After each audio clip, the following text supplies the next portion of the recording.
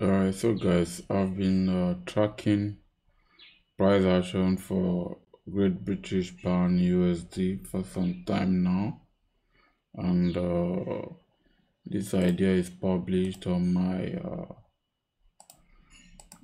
my ideas um, TradingView. You can go check it out and please follow me uh, for more ideas that we help you in your trading journey so yes my target my target is around the 1.240 region right? This target here right? On a four hour chart i'm hoping this um uh this eye will be cleared right? Or the liquidity around this level taken as where i'm targeting. So i'm hoping the price will gradually right walk through this resistance level right kind of like a head and shoulder resistance and then push to the target hopefully maybe breakthrough or reject and give us another pattern for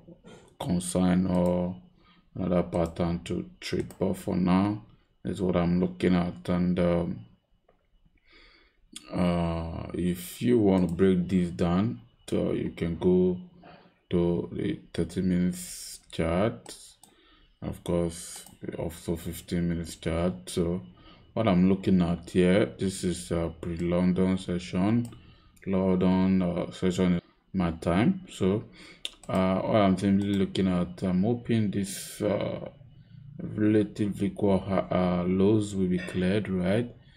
The all the liquidity around this level we tapped in then probably reject and go upward. That's what i'm looking at right now.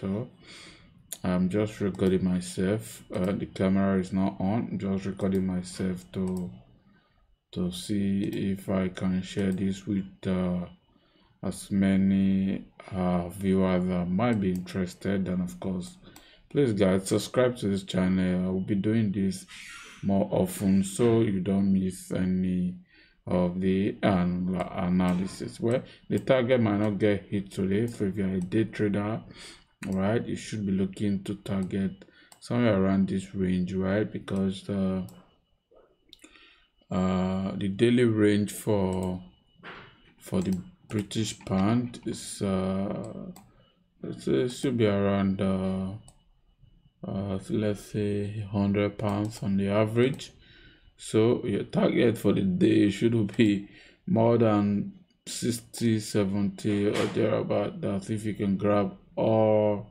all of that that would be great but you really don't need to be greedy right? So that's it folks. I hope uh, we all succeed in our trading uh trading journey today. Thanks for watching and i hope to see you again. Please subscribe